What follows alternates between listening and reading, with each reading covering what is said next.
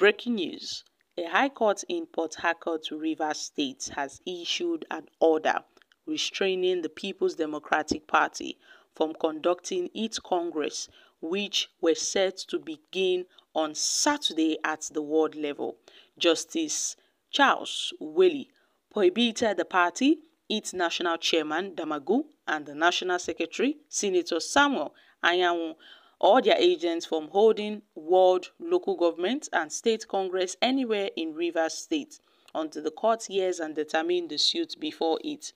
The suit was filed by at least one PDP member from each of the 23 local government areas challenging the conduct of the congress. The judge also directed the Inspector General of Police, the Commissioner of Police in Rivers, the Director General of the Department of the State Service, and the Nigerian Security and Civil Defense Corps to comply with the order. Now, this is the second order from the Rivers High Court to stop the planned congress by the PDP in the state. Earlier this month, Justice Sabori issued the first order in response to a suit filed by David Omerigi and 10 others against the PDP, its national chairperson, the national financial secretary, and the national organizing secretary. Guys, following the first order, the Federal High Court in Abuja issued a counter order allowing the PDP to proceed with its activities. In its ruling, Justice Peter Lifu barred the Department of the State Service, the police, the INEC, and seven others from stopping, truncating or disrupting the Congress.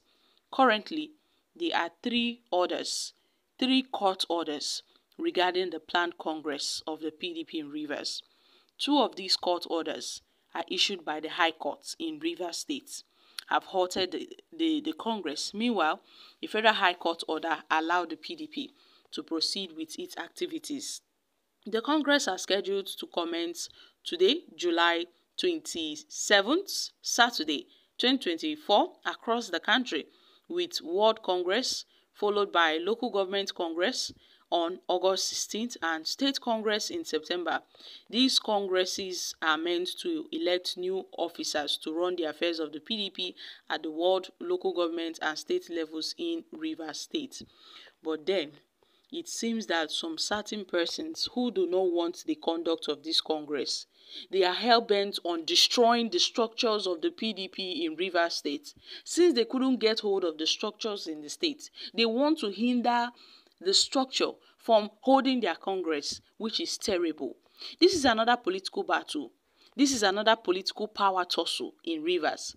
And I can see the handwriting is, is, is boldly written on the wall those that are behind this.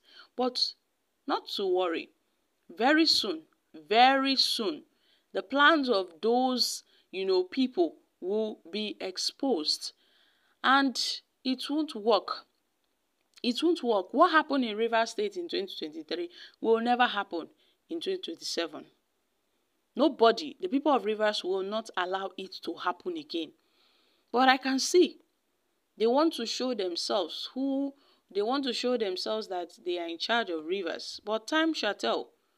Time sh will surely tell who is in charge of Rivers State.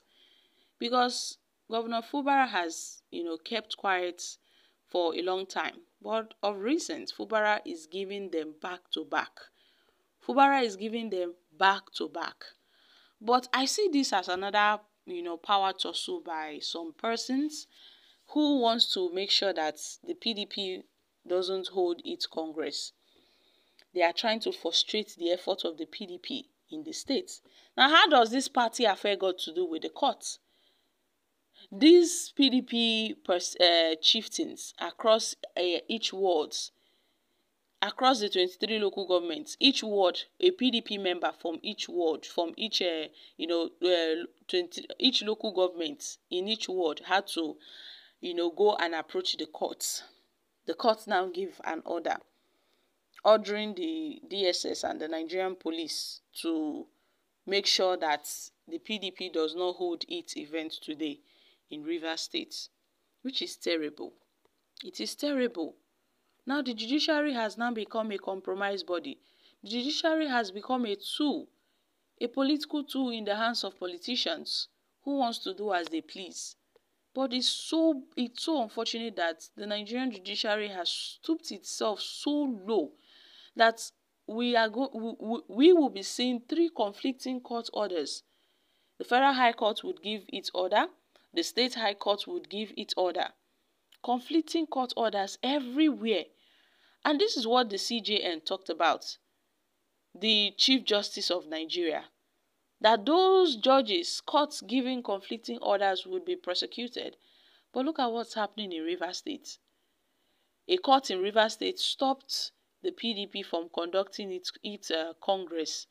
The Federal High Court in Abuja gave an order to allow the PDP to hold their Congress. Now, another order has come again from a High Court in Rivers, in Port Harcourt, to stop the PDP from holding its Congress. This is a party issue. Why should the court interfere in the first place? Why should the court in, even interfere?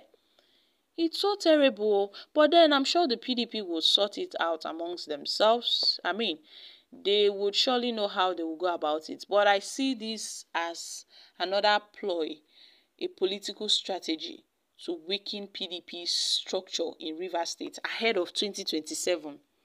All these moves are being made by some strategists to make sure that they weaken the structures of the People's Democratic Party because this Congress is very important to the PDP.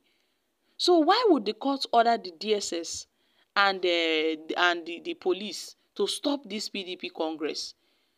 Those that wants to stop this Congress know what they would gain from it. Knows what they will gain from it. But it's obvious that they don't want this Congress to hold. Because this Congress are also to, to, elect ad hoc and national delegates as specified in the Constitution. Guidelines and adjusted timetable and scheduled activities of 2024. We know. But now it seems that some persons are not comfortable with this. The scheduled Congress are to elect new officers that will run the affairs of the PDP at the ward and the local government level, even at the state levels in river states. But they want to halt this process so that they can truncate the structures of the PDP in rivers, so that they can, you know, halt the progress of the PDP in rivers. But this is indeed terrible. So guys, what are your thoughts on this? However, Nigerians have re reacted. Nonsense. This lacks merit. The higher court has judged it. So why is the state giving another judgment? It's so sad that everything has been turned upside down. The next person said, Power tussle. He who laugh last, laugh best. The judiciary has destroyed Nigeria. Okay, guys, I'm dropping here. What are your thoughts on this? Kindly share in the comments section. Thank you.